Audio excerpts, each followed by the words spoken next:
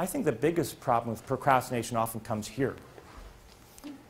It is during your time off. And if you're not, when you're time off, feeling good about yourself and resting and enjoying just being there now, instead you're haunting about what you should be doing and impending deadlines, and you can't get that out of your head, there's a reason why the more you procrastinate, not only the less healthy you tend to be, as people put off kind of exercising and taking care of themselves, and wealthy, of course, but also less happy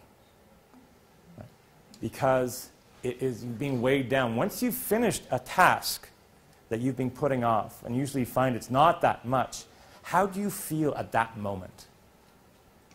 Yeah, pretty great. And you, you feel weight taken off you. you. You've been hanging around with this inside your mind, weighing you down, until you didn't even notice it. And then finally, when you actually got her out, you feel kind of elated. You know? And if you have a whole series of these things, these are things that are weighing you down.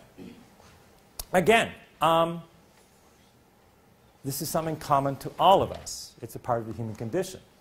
And the question is, of course, is a little bit why.